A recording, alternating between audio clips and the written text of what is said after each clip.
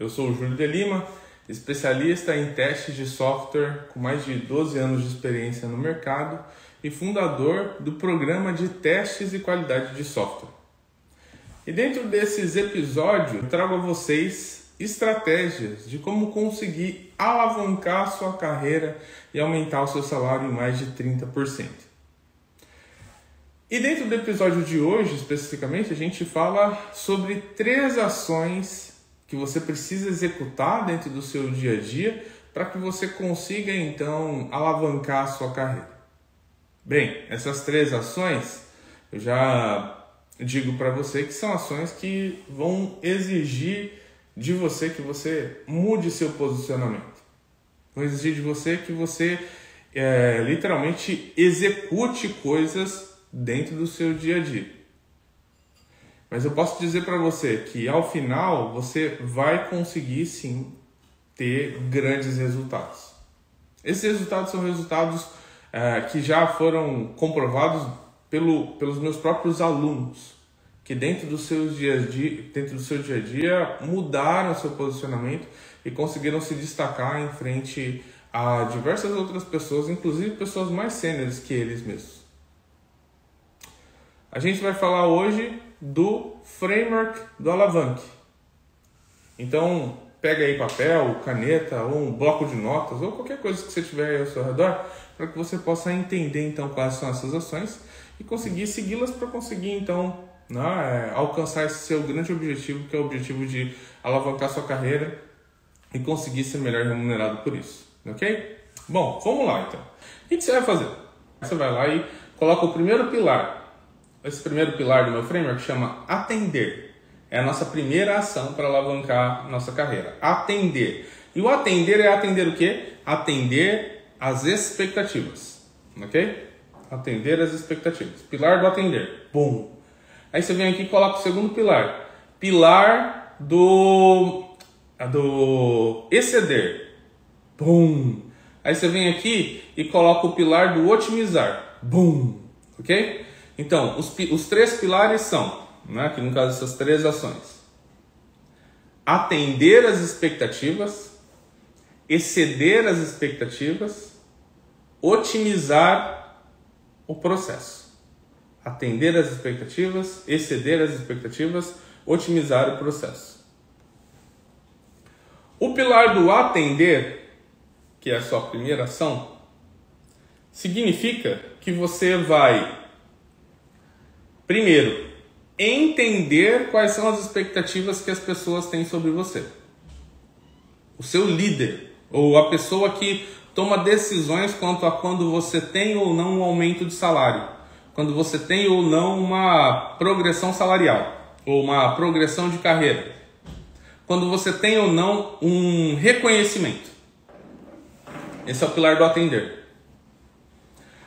Olha lá para o pilar do atender você vai se lembrar que você precisa entender quais são as expectativas que essa pessoa que toma decisão sobre sua carreira, beleza? Possui sobre você. E muitos de vocês, quando assistem isso, vão falar assim: Mas Júlio, eu já conheço. Já conheço quais são as expectativas. Não conhece nada. Entendeu? Você não conhece até que alguém de preferência essa pessoa, vá lá e escreva num papel ou numa folha dizendo: essas são as minhas expectativas sobre você. E aí você vai lá e fala assim: deixa eu ver se eu entendi. Expectativa número um, você espera que eu faça isso. Dois, você espera que eu faça aquilo. Três, você espera que eu faça aquilo outro. Não entendi essa três. Aí a pessoa fala: ah, essa três é a seguinte, ó. Eu espero que você faça assim, assim, assim, assim, assado todos os dias.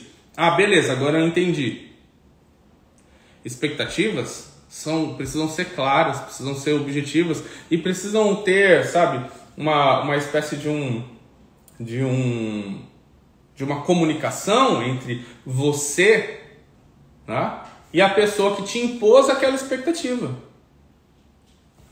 Por que isso? Porque não tem como, tá bom, não tem como é muito forte. As probabilidades são muito baixas que você consiga alavancar a sua carreira se a pessoa que toma a decisão está olhando para você e está aqui na cabeça dela a seguinte frase: Olha lá, tá fazendo uma coisa que não era o que eu esperava que ela fizesse. Olha lá, ó. A pessoa tá fazendo uma coisa. Quem mandou essa pessoa fazer isso? Olha lá, ó. A pessoa é, nem, nem consegue fazer o mínimo que eu espero dela e tá aqui me pedindo um aumento de salário. Tá entendendo? Expectativas. A gente precisa remover todo tipo de, de ruído que existe entre o que as pessoas, entre o que as pessoas que tomam decisão sobre é, progressão salarial ou progressão de carreira têm sobre mim. Eu quero saber quais são as suas expectativas. Se você quer, quer, se você quer conseguir é, alavancar a sua carreira, você precisa saber quais são as suas expectativas, porque se você não estiver seguindo elas, todas as vezes que você chegar para pedir um aumento ou pedir uma progressão na sua carreira, a pessoa vai falar que você ainda não está preparado.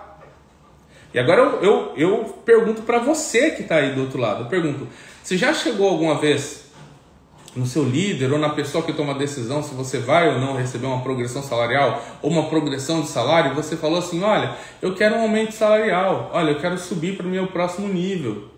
Alguma vez essa pessoa já olhou para você e disse assim: ah, você ainda não está preparado, você precisa melhorar. Ah, você ainda não está. Olha, ainda falta um pouquinho para que você possa chegar lá. Ah, olha, é, eu já estava pensando nisso. Ou ó, ah, não vem ainda me falar sobre isso não, você precisa melhorar ainda. Você já recebeu essa, essa frase de alguém? Pois é, sabe por quê? Porque essa pessoa ainda ela tem expectativas que estão implícitas. Ela deixou as expectativas lá no fundinho da cabeça dela, ela nunca te revelou. Ela nunca te revelou por, sei lá, por Pode ser por muitos motivos. Pode ser por maldade mesmo, pode ser por trairagem, pode ser porque ela não gosta de você, ou pode ser porque ela simplesmente esqueceu. Ou pode ser porque ela nem sabe quais são essas expectativas, entendeu? A questão é, quando você sabe quais são as expectativas e você busca as expectativas, essa pessoa e você documenta essas essa, os resultados que você obteve da busca por essas expectativas, bom, você consegue então né, ter o primeiro pilar dentro do seu fundamento que é atender às expectativas. Beleza? O pilar do ECD, para que você possa colocar ele aqui, ó, é necessário que você seja capaz de exceder as expectativas.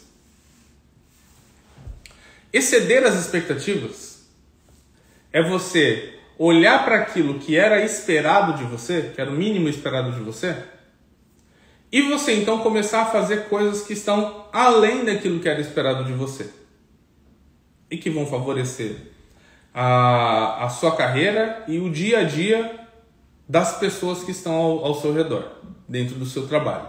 Ok? Esse é o pilar do exceder. Para que você possa pensar no exceder de uma maneira bem simples e tipo assim, bem direta ao ponto, para que a gente não possa, sabe, não, não fique aqui conversando por horas, pensa no seguinte. Se o pilar do atender aqui é sobre o que se espera de você na sua atual posição na empresa, ou seja, eu sou pleno, o que espera de mim na posição de pleno? Se você quer saber como, qual é o pilar do exceder, é só você ir lá e saber qual é o esperado do próximo nível. Por exemplo, eu quero saber qual é o esperado do sênior. Eu sou pleno. Quero saber qual é o esperado do sênior. Eu sou júnior. Quero saber qual é o esperado do pleno. Eu sou estagiário querendo é, ser efetivado. Eu quero saber quais são as expectativas agora do júnior. Eu sou sênior, quero saber quais são as expectativas do líder, porque eu quero ser líder. Quero saber quais são as especialistas, do, as, quais são as expectativas do especialista, porque eu quero ser especialista. Então, você já conhece e atende às suas expectativas. Agora você está conhecendo as expectativas do próximo nível, para que você comece a executá-las, sem deixar a peteca cair aqui no seu lado. Então você está começando a executar. Por exemplo, você percebeu aqui que as expectativas para um líder era que eles, que o líder seja capaz de aconselhar e mentorar quem são os, os testadores mais novos. Legal. Então, você está lá atendendo suas expectativas e executando o seu trabalho de uma, de uma maneira que é eficiente. Vai sobrar para você, sei lá, 30, 40 minutos por dia. O que, que você faz? Você começa lá no seu dia a dia, sabendo que o próximo nível, a expectativa do próximo nível é que você mentore as pessoas mais novas. Você fala assim: vamos fazer aqui, ó. Proponho que a gente faça o chá da tarde dos QAs. Ah, o que é o chá da tarde dos QAs? Ah, o chá da tarde dos QAs vai ser uma iniciativa que eu estou realizando. Coloco eu nisso aí, porque você precisa documentar as coisas que você fez. É uma, é uma iniciativa que eu estou realizando dentro de um espaço de tempo que eu criei por ser mais eficiente em algumas atividades. Sobrou aqui 30 minutos. Esses 30 minutos vai ser um 30 minutos de perguntas e respostas que vocês profissionais que são júniores, que atuam aqui na empresa, vão poder perguntar para mim e eu vou responder para você. Vou te ajudar a crescer, júnior. Entendeu? 30 minutos, chá da tarde lá com, com os clientes da sua empresa e você vai lá e te, faz uma, um deles faz uma pergunta. E você fala, nossa, que ótima pergunta, eu vou te dar a resposta. A resposta é essa, ó. Pá, pá, pá. Chega um outro e fala assim, olha, eu estou vivendo um problema lá no meu time, né? Eu sou júnior ainda, ah, meu problema é esse. Aí você vai lá e fala assim, ó, quer ver uma resposta boa? Pá, pá, pá. E você vai lá e vai mentorando, vai ajudando, vai respondendo as dúvidas, vai pegando na mãozinha dessas pessoas. E aí você vai documentando isso. Ó, fiz uma sessão do café com o QAs, é um projeto que eu criei aqui dentro da empresa, com o tempo que eu tinha. Ó, já ajudei 15 QAs aqui a conseguir melhorar as, as atividades do seu dia a dia. Ó, esses aqui são os principais problemas deles. Dado que você pode ver aqui que tem aqui esses 20, 20 principais problemas deles, está vendo aqui? Ah, que legal. Então, tá vendo que cinco deles parece que seguem um padrão? Pois é, é um padrão. Eu criei uma forma, né, uma documentação ou algum método aqui que ajuda. Sempre quando eles têm esse problema, eles podem usar esse método. E olha só que legal, eles estão usando o método e estão conseguindo ter sucesso. Ó, deixa eu mostrar para você aqui. Ó. Um desses que o ex usou lá no, no, no dia a dia do time dele, ó, ele gastava antes 5 horas para fazer alguma coisa, agora ele gasta duas. Você está tudo documentado. Entendeu? Quando, o seu, quando você chega para conversar com, com o seu líder para pedir a progressão né, de carreira para aquela determinada para aquele determinado papel que você quer seguir, você mostra, ele, você fala, olha, você me disse que a expectativa do próximo nível era que a pessoa fosse capaz de mentorar, não é? Olha só o projeto que eu criei. Olha os resultados que eu tive. Olha como que as pessoas estão contentes. Olha o feedback das pessoas aqui sobre o trabalho que eu estou desenvolvendo com eles. A gente precisa entender que a busca pelo nosso alavanque, ela não pode depender só de quando que o seu líder ou que a sua empresa, sabe, quer se movimentar. Quem tem que pegar o volante da nossa carreira aqui, ó, e dirigir para onde a gente quer ir, colocar a velocidade que a gente quer colocar e pisar fundo quando a gente está com muita vontade de crescer, ou pisar fraco quando a gente está, sabe, no momento que a gente precisa ter mais tempo para a gente, entende? Quem define isso aqui é tudo você, entendeu? Você precisa de uma forma estruturada de perseguir isso. Por isso que eu criei esse framework. Eu observei o que aconteceu na minha carreira que me ajudou a alavancar, o que aconteceu na carreira dos meus alunos que conseguiram alavancar também e montei um frameworkzinho aqui para aj ajudar você que está aí assistindo a conseguir buscar de maneira estruturada também. Buscou de maneira estruturada, você vai conseguir. Eu alavanquei meu salário em mais de 30%, né? aumentei meu salário em mais de 30%, alavanquei minha carreira eu consegui agora, né, ainda usando meu próprio framework e continuando buscando com afinco, fui lá e alavanquei de novo e consegui alcançar meu novo objetivo, que era de morar nos Estados Unidos, com um salário que é um salário bacana, dando conforto para minha família. Estão entendendo? É, você precisa buscar de maneira estruturada, não é simplesmente viver. Porque se você simplesmente viver, talvez você chegue lá. Mas se você buscar de maneira estruturada, você vai chegar lá mais rápido. Entendeu? Vamos para o nosso último pilar aqui, porque esse pilar aqui do, do exceder, ele está muito relacionado aqui ao, é, a esse nosso pilar do, do otimizar. O pilar do otimizar é o seguinte: você vai olhar para dentro do seu dia a dia, lá na sua empresa, e você vai descobrir o que gasta muito relacionado ao processo de testes, tá bom? Não precisa ir para outras coisas, não. Olha para o pilar do processo. Pensa assim: processos de teste.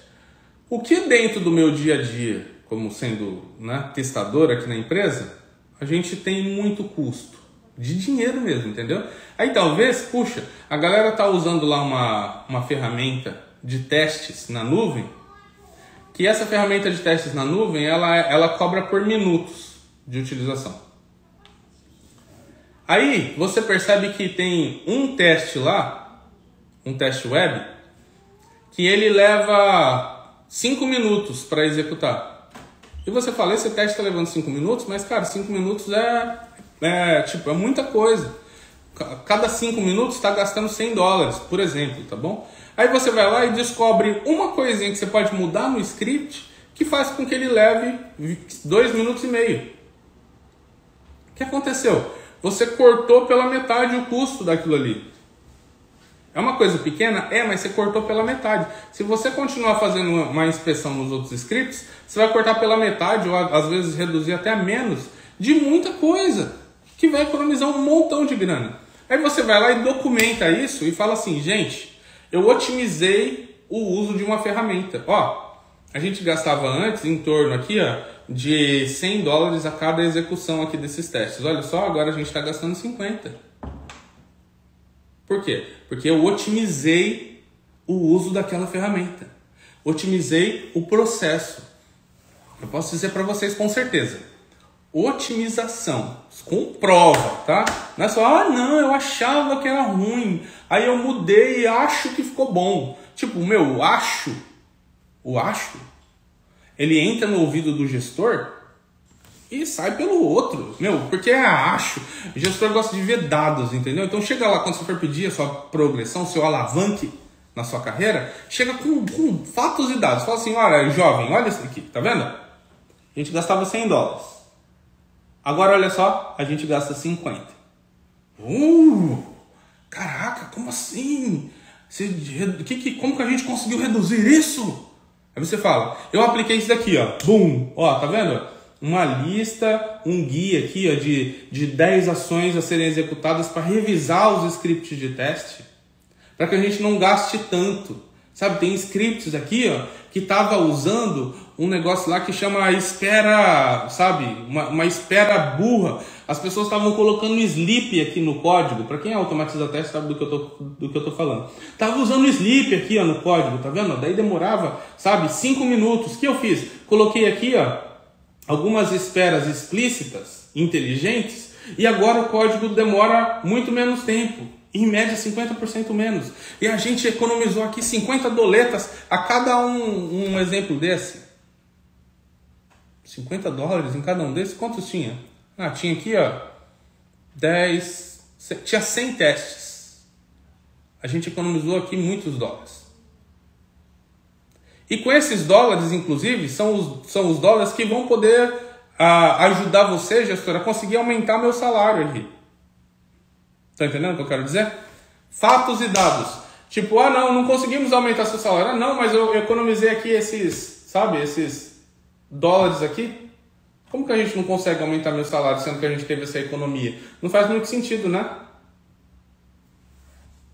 As otimizações que você faz, você também leva elas para suas outras oportunidades. Talvez o seu líder, a sua empresa, eles, sabe, eles não querem que você cresça. Quer não. E tem isso. Tem isso. Tem empresa, tem líder que não quer que você cresça. Entendeu? Só que é por isso que a gente tem aí uma grande oportunidade, porque tem hoje em dia mais de duas mil vagas abertas. Se você for procurar por analista de testes, analista de qualidade no LinkedIn, você vai ver mais de duas mil vagas abertas. Caraca! Chega nessa próxima empresa e fala, ó, eu atendi as expectativas, olha só fatos e dados. Eu excedi, olha só fatos e dados. Eu otimizei, olha só fatos e dados. Tem uma oportunidade para mim aí? Vai ter.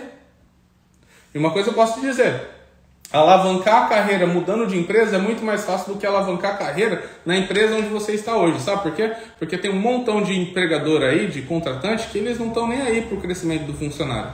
E quando o funcionário começa a se destacar, e que ele fala, consegui uma oportunidade em outra empresa, aí que a pessoa vai lembrar e vai falar, ah, não, não muda não, agora que eu percebi que você está conseguindo se dedicar, nossa, olha só um monte de coisa que você fez, me poupou um monte de dólares, vou te dar um aumento aqui de 100 reais.